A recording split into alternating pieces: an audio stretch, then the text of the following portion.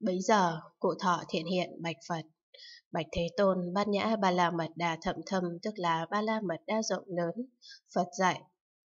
Thiện hiện ông dựa vào ý gì mà nói Bát Nhã Ba La Mật Đa Thậm Thâm, tức là Ba La Mật Đa rộng lớn. Thiện hiện thưa, Bạch Thế Tôn vì Bát Nhã Ba La Mật Đa Thậm Thâm đối với xác không làm lớn, không làm nhỏ, đối với thọ tưởng hành thức cũng không làm lớn, không làm nhỏ. Như vậy cho đến đối với quả vị vô thượng chánh đẳng Bồ Đề của chư Phật không làm lớn, không làm nhỏ. Đối với chư Như Lai ứng chánh đẳng giác cũng không làm lớn, không làm nhỏ. Đối với sắc không làm hợp, không làm tan, đối với thọ tưởng hành thức cũng không làm hợp, không làm tan.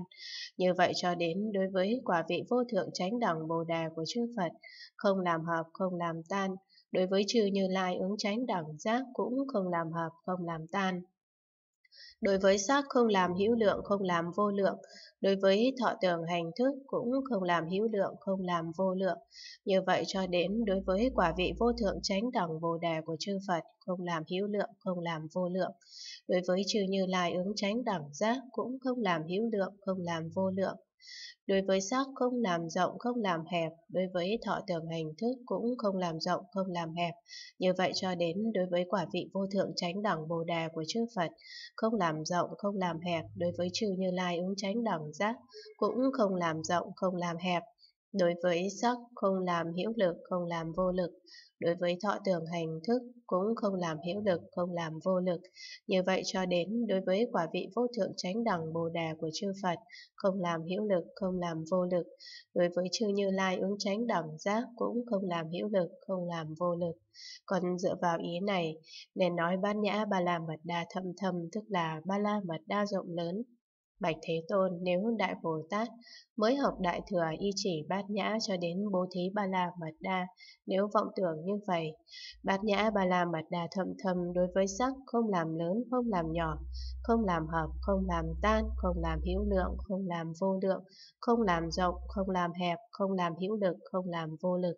Như vậy cho đến đối với chư Như Lai ứng tránh đẳng giác, không làm lớn, không làm nhỏ, không làm hợp, không làm tan, không làm hữu lượng, không làm vô lượng, không làm rộng, không làm hẹp, không làm hữu lực, không làm vô lực. Thì Đại Bồ Tát này do vọng tưởng như vậy nên chẳng phải hành bát nhã ba la mật đa.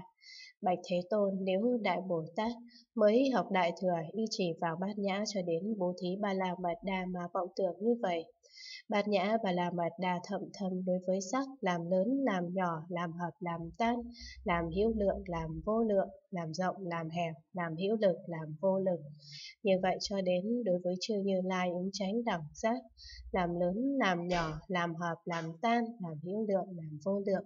làm rộng, làm hẹp, làm hữu lực, làm vô lực. Thì Đại Bồ Tát này do vọng tưởng như vậy nên chẳng phải hành bát nhã và làm mật đà. Bạch Thế Tôn nếu Đại Bồ Tát mới học Đại Thừa, không y chỉ bát nhã cho đến bố thí ba la mật đa mà vọng tưởng như vậy.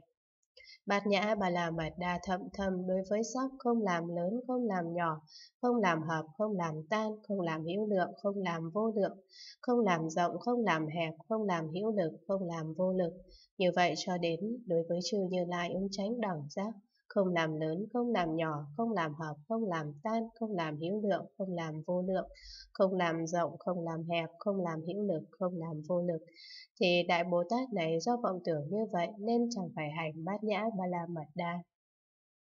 Bạch Thế Tôn nếu Đại Bồ Tát mới học Đại Thừa, không y chỉ bát nhã cho đến bố thí ba la mật đa mà vọng tưởng như vậy, Bát nhã ba-la mật đa thâm thâm đối với sắc làm lớn, làm nhỏ, làm hợp, làm tan, làm hữu lượng, làm vô lượng, làm rộng, làm hẹp, làm hữu lực, làm vô lực. Như vậy cho đến trừ như lai ông tránh đẳng giác, làm lớn, làm nhỏ, làm hợp, làm tan, làm hữu lượng, làm vô lượng, làm rộng, làm hẹp, làm hữu lực, làm vô lực. Thì Đại Bồ Tát này do vọng tưởng như vậy nên chẳng phải hành bát nhã ba la mật đà Vì sao? Bạch Thế Tôn vì nếu Đại Bồ Tát khởi vọng tưởng như vậy, bát nhã ba la mật đà đối với sắc, hoặc làm lớn nhỏ, không làm lớn nhỏ, hoặc làm hợp tan, không làm hợp tan, hoặc làm hữu lượng vô lượng, không làm hữu lượng vô lượng, hoặc làm rộng hẹp, không làm rộng hẹp, hoặc làm hữu lực vô lực, không làm hữu lực vô lực. Như vậy cho đến đối với chữ như lai ứng tránh đẳng giác, hoặc làm lớn nhỏ không làm lớn nhỏ, hoặc làm hợp tan không làm hợp tan, hoặc làm hữu lượng vô lượng không làm hữu lượng vô lượng, hoặc làm rộng hẹp không làm rộng hẹp, hoặc làm hữu lực vô lực không làm hữu lực vô lực, thì như vậy tất cả đều chẳng phải quả đẳng view của bát nhã ba la mật đa. Bạch Thế Tôn nếu Đại Bồ Tát nào vọng tưởng như vậy, bát nhã ba la mật đa thậm thâm đối với sắc cho đến đối với chư như lai ứng tránh đẳng giác, hoặc làm lớn nhỏ không làm lớn nhỏ, hoặc làm hợp tan không làm hợp tan, hoặc làm hữu lượng vô lượng không làm hữu lượng vô lượng, hoặc làm rộng hẹp không làm rộng hẹp, hoặc làm hữu lực vô lực không làm hữu lực vô lực. Thì đại bồ tát này gọi là có sở đắc lớn chẳng phải hành bát nhã ba la mật đa vì sao? Vì chẳng phải tưởng có sở đắc mà có thể chứng đắc quả vị vô thượng chánh đẳng Bồ Đề. Vì sao? Vì hữu tình vô sanh, vô tự tánh, vô sở hữu, không vô tướng, vô nguyện, viễn ly, tịch tịch, bất khả đắc, bất khả tư nghì, không hoại diệt, không hiểu biết, nên sức không thành tựu, nên biết bát nhã ba la mật đà cũng vô sanh cho đến sức không thể thành tựu, sắc cho đến tất cả như lai ứng chánh đẳng giác, vô sanh, vô tự tánh, vô sở hữu, không, vô tướng, vô nguyện, viễn ly tịch tịnh, bất khả đắc, bất khả tư nghì không hoại diệt, không hiểu biết, nên sức không thành tựu, nên biết bát nhã và la mật đa cũng vô sanh cho đến sức không thể thành tựu. Con dựa vào ý này nên nói, bát nhã bà la mật đà thâm thâm, tức là bà la mật đà rộng lớn. Lúc bấy giờ xá lợi tử bạch phật Bạch Thế Tôn nếu Đại Bồ Tát đối với bát nhã ba la mật đa có thể tin hiểu từ chỗ nào đến sanh ở thế gian này. Phát tâm quả vị vô thượng chánh đẳng Bồ Đề đã trải qua bao nhiêu lâu, tôn trọng thân cận cúng dường chư Phật đã trải qua bao nhiêu thời gian, tu hành bố thí cho đến bát nhã ba la mật đa, sao lại tin hiểu nghĩa lý sâu xa của bát nhã ba la mật đa như vậy? Phật dạy, xá lợi tử, nếu Đại Bồ Tát nào đối với bát nhã ba la mật đa thậm thâm có thể tin hiểu là vì ở trong pháp hội của chư Phật mười phương thế giới mất lại sanh đến thế giới này. Phát tâm quả vị vô thượng chánh đẳng Bồ Đề đã trải qua vô lượng vô số vô biên trăm ngàn muôn ức kiếp, đã từng thân cận cúng dường vô lượng vô số vô biên bất khả tư nghì, bất khả xương dương Đức Phật bạt giả phạm, từ lúc mới phát tâm thường tu bố thí cho đến bát nhã ba la mật đa, trải qua vô lượng vô số vô biên trăm ngàn muôn ức kiếp. Nếu Đại Bồ Tát đối với bát nhã ba la mật đa thâm thâm, hoặc thấy hoặc nghe, liền nghĩ như vậy. Này tôi thấy Phật, nghe lời Phật thuyết.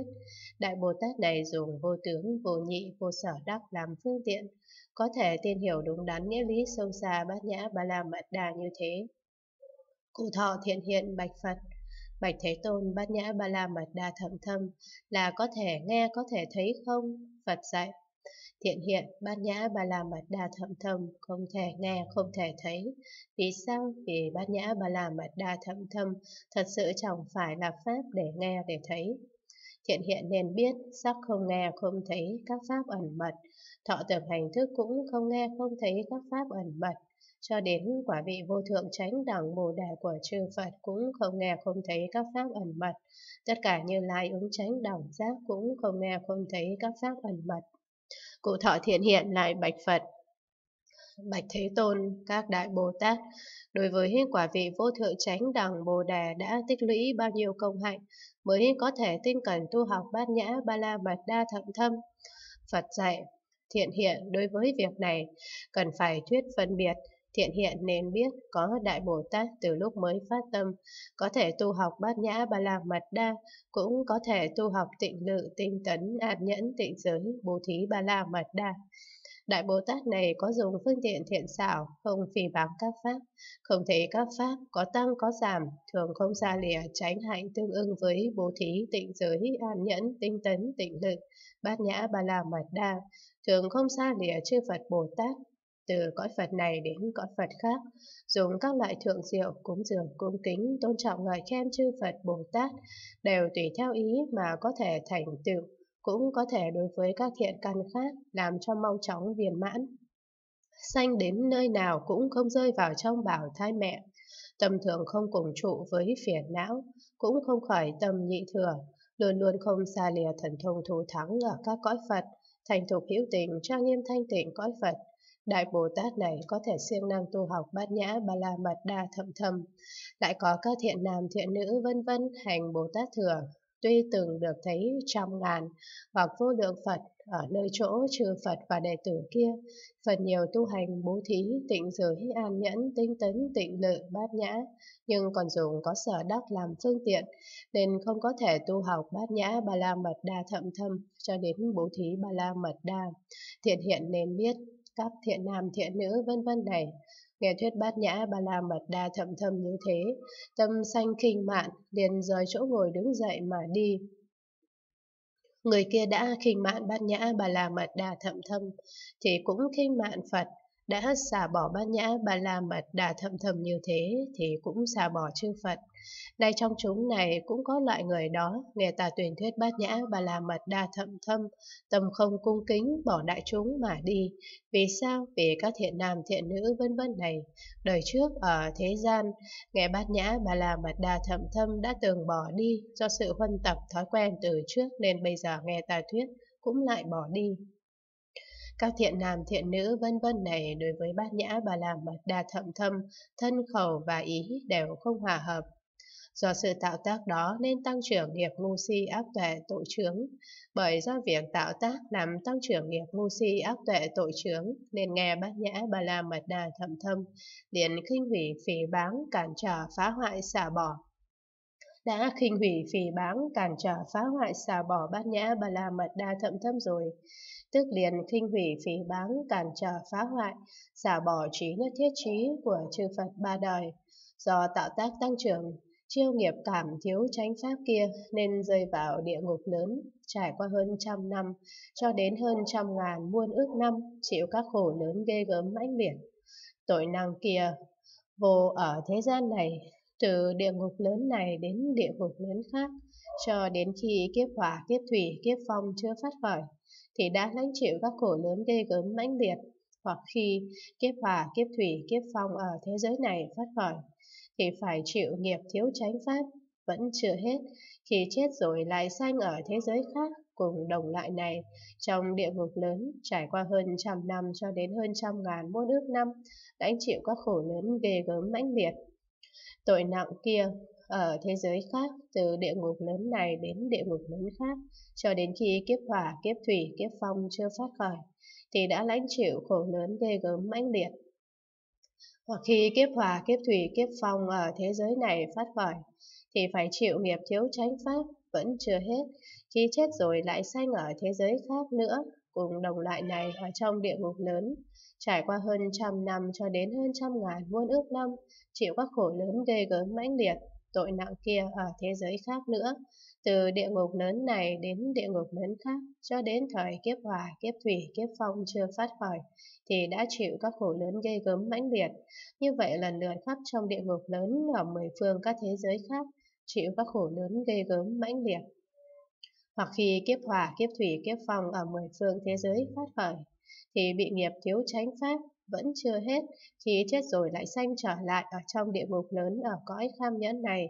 từ địa ngục lớn này đến địa ngục lớn khác, cho đến thời kiếp hỏa, kiếp thủy, kiếp phong chưa phát khởi, thì đã chịu các khổ lớn ghê gớm mãnh liệt. Nếu khi kiếp hỏa, kiếp thủy, kiếp phong ở thế giới này phát khởi, thì bị nghiệp thiếu tránh pháp vẫn chưa hết. Đến khi chết rồi, lại sanh ở các thế giới khác ở trong địa ngục lớn khắp mười phương, chịu các khổ lớn ghê gớm mãnh liệt, luân hồi như vậy, trải qua vô số kiếp. Tội nghiệp thiếu tránh pháp kia, thế lực giảm dần ra khỏi địa ngục, lại đọa vào loài bàng xanh trải qua hơn trăm năm cho đến trăm ngàn muôn ước năm, chịu thân bàng xanh, gặp đủ các khổ, tàn hại, bức bách vân vân. Vì tội chưa hết nên ở thế giới này, từ nơi hiểm ác này đến chốn hiểm ác khác, cho đến thời kiếp hỏa, kiếp thủy, kiếp phong chưa phát khởi,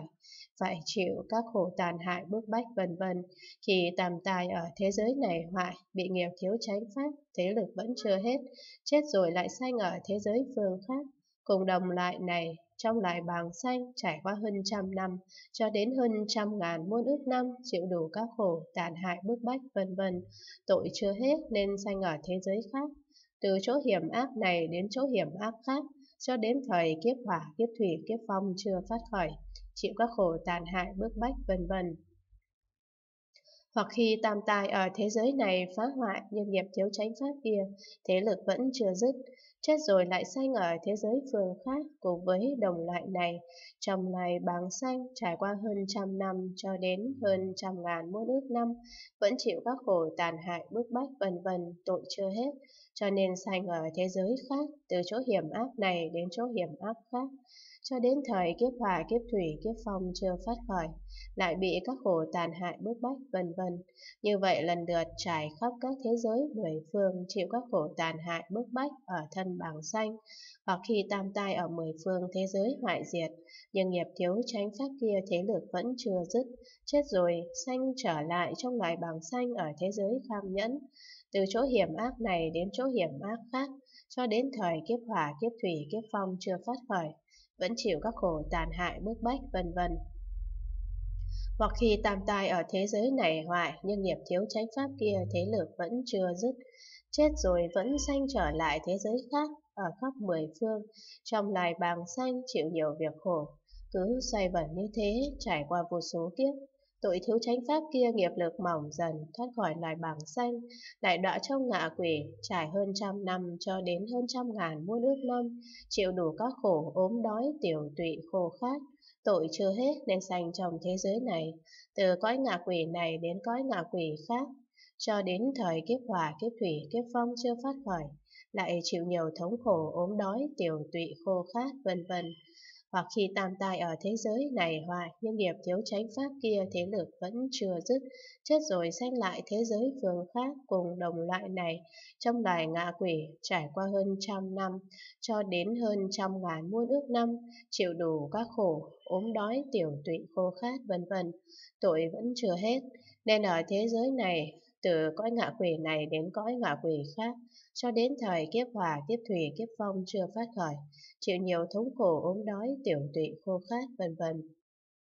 Hoặc khi tam tai ở thế giới khác hủy hoại nhưng nghiệp thiếu tránh pháp kia, thế lực vẫn chưa dứt, chết rồi sanh lại thế giới phường khác, cùng đồng loại này trong loại ngạ quỷ trải qua hơn trăm năm, cho đến hơn trăm ngàn muôn ước năm, chịu đủ các thống khổ, ốm đói, tiểu tụy, khô khát, vân vân tội vẫn chưa hết, nên ở thế giới khác, từ cõi ngạ quỷ này đến cõi ngạ quỷ khác, cho đến thời kiếp hỏa, kiếp thủy, kiếp phong chưa phát khởi, chịu nhiều thống khổ, ốm đói, tiểu tụy, khô khát, vân vân. Như thế, lần lượt trải khắp mười phương ở cõi ngạ quỷ, chịu nhiều thống khổ, ốm đói, tiểu tụy, khô khát, vân vân. Hoặc khi tam tài ở mười phương thế giới khác hủy hoại, nhưng nghiệp thiếu tránh pháp kia thế lực vẫn chưa dứt, chết rồi sanh trong loài ngạ quỷ ở cõi kham nhẫn này, từ cõi ngạ quỷ này đến cõi ngạ quỷ khác, cho đến thời kiếp hỏa kiếp thủy kiếp phong chưa phát khởi, chịu nhiều thống khổ ốm đói, tiểu tụy khô khát, vân vân, hoặc khi tam tai ở mười phương thế giới khác hủy hoại, nhưng nghiệp thiếu tránh pháp kia thế lực vẫn chưa dứt, nên chết rồi sanh ở thế giới khác, trải khắp mười phương, trong loài ngạ quỷ chịu nhiều sự khổ, luân hồi như thế trải qua vô số kiếp, nghiệp thiếu tránh pháp kia thế lực sắp dứt, thoát khỏi cõi ngạ quỷ, sanh trong loài người. Tuy được làm người nhưng ở chốn hạ tiệt, nghĩa là sanh trong nhà mù điếc, nhà làm thuê, nhà gánh thầy chết, nhà hàng thịt, nhà đánh cá, săn bắn, nhà công thợ, nhà cho người mua vui, nhà tà kiến, nhà thiếu văn hóa, xen tạp ác luật nghi hoặc phải chịu thân không mắt, không tai, không mũi, không lưỡi, không tay, không chân, đuôi điếc câm ngọng, ung thư hủi lác, phong cuồng, điên khùng, tàn tật, đơn gù, lùn xấu, cột tay, cột chân, các căn thiếu thốn, da đen tiểu tụy, khờ khạo, không hiểu biết, có làm việc gì cũng bị người khinh chê, hoặc sanh ở chỗ không nghe danh hiệu Phật Pháp Tăng, Bồ Tát độc giác, hoặc lại xanh ở thế giới u ám, thường không có ngày đêm, hoàn toàn không có ánh sáng, ở chỗ hiểm nạn, uế trưởng ác độc. Vì sao? Vì nghiệp thiếu tránh pháp làm tăng trưởng rất nặng, chịu đủ quả khổ như vậy, ưa thích điều gì cũng không được viên mãn, phẩm lại rất nhiều khó có thể nói hết. Nếu muốn nói đủ, cùng kiếp cũng không hết. Lúc bấy giờ giá lợi tử bạch Phật, bạch Thế Tôn chiêu cảm nghiệp thiếu tránh pháp, tạo tác tăng trưởng kia có thể nói cùng tương tự với năm nghiệp vô gián không? Phật dạy xá lợi tử chiêu cảm nghiệp thiếu chánh pháp rất là sâu nặng, không thể đem so sánh với năm nghiệp vô gián. Nghĩa là người kia nghe thuyết bát nhã bà la mật đà thậm thâm liền chống cự phản đối phỉ báng kinh chê, nói như vậy. Lời này chẳng phải lời Phật thuyết, chẳng phải pháp, chẳng phải luật, chẳng phải đại sư dạy. Chúng tôi đối với điều này không đáng tin học. Người phỉ báng chánh pháp này là tự phỉ báng bát nhã ba la mật đa, cũng dạy bảo người khác phỉ báng, tự hoại thân mình cũng phá hoại người khác, tự uống thuốc độc cũng khiến người khác uống, tự mình mất quả báo sanh thiên, giải thoát an lạc, cũng làm cho người khác mất quả báo sanh thiên, giải thoát an lạc, tự đưa mình đến lửa địa ngục cũng dẫn người khác đến lửa địa ngục, tự mình không tin hiểu bát nhã ba la mật đa thậm thâm, cũng dạy người khác không tin hiểu bát nhã ba la mật đa thậm thâm, tự mình chìm trong biển khổ, cũng lôi người khác chìm trong biển khổ. Xá lợi tử, ta đối với bát nhã ba la mật đa thậm thâm như thế, không muốn cho người phỉ báng tránh pháp nghe danh tự bát nhã ba la mật đa, cũng chỉ là thuyết cho họ, xá lợi tử, người phỉ báng chánh pháp, ta không cho các thiện nam tử vân vân an trụ Bồ Tát thừa, nghe danh tự của họ huống là mắt thấy hay cùng sống chung. Vì sao xá lợi tử? Vì các người phỉ báng bát nhã ba la mật đa thậm thâm, nên biết đó là tên gọi khác của người phá hoại chánh pháp đọa vào loài đen tối như ốc sên ô uế, tự dơ bẩn lại làm người khác dơ bẩn như đống phân hồi thối, nếu ai tin lời người phá hoại chánh pháp cũng chịu khổ lớn đã nói ở trước. Xá lợi tử, nếu có phá hoại bát nhã bà là mật đa thậm thâm, nên biết loại ấy tức là địa ngục bàng xanh ngạ quỷ nhất định sẽ chịu vô biên khổ lớn, độc hại rất nặng. Vì vậy, người biết không nên hủy báng bát nhã ba la mật đa thậm thâm. Lúc này xá lợi tử lại bạch Phật, bạch Thế Tôn vì sao Như Lai chỉ thuyết người phá hoại chánh pháp khi đã vào đại địa ngục bàng xanh ngạ quỷ chịu nhiều thống khổ mà không thuyết thân lượng hình dạng. Phật dạy, xá lợi tử thôi, chẳng nên nói hình dạng của người phá hoại chánh pháp phải chịu sanh vào đường ác ở đời tương lai, vì sao? Vì nếu ta nói đủ hình dạng kia thì họ nghe được sẽ kinh hãi, sợ sẻ, đến ngất xỉu dẫn đến mất mạng, hoặc khổ gần chết, tâm đau khổ như chúng tên độc, thân khô héo như dây đứt gốc. Người kia nghe thuyết việc người hủy báng chánh pháp sẽ chịu khổ, thần rất xấu như thế, tự kinh hoàng đến nỗi mất mạng, ta vì thương xót kẻ ấy nên không thuyết. Xá lợi tử, bạch Phật, Bạch Thế Tôn cúi xin Phật thuyết hình dạng xấu xí kia để gian dạy đời sau, để biết phỉ báng chánh pháp sẽ gặp khổ lớn và không dám tạo tội.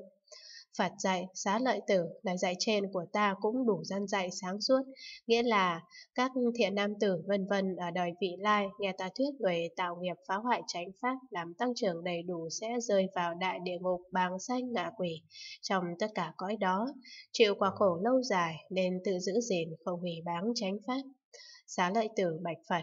Bạch Thế Tôn, cúi xin Thế Tôn, cúi xin đấng thiện thệ, các thiện nam tử ở đời vị lai, nghe phải thuyết nghiệp cảm phá hoại chánh pháp trước sẽ chịu khổ lâu dài, đủ làm đời dân dạy sáng suốt. Thà bỏ thân mạng, chọn đời không hủy bán chánh pháp, chớ để đời sau phải chịu khổ ấy. Lúc bấy giờ thiện hiện liền bạch Phật,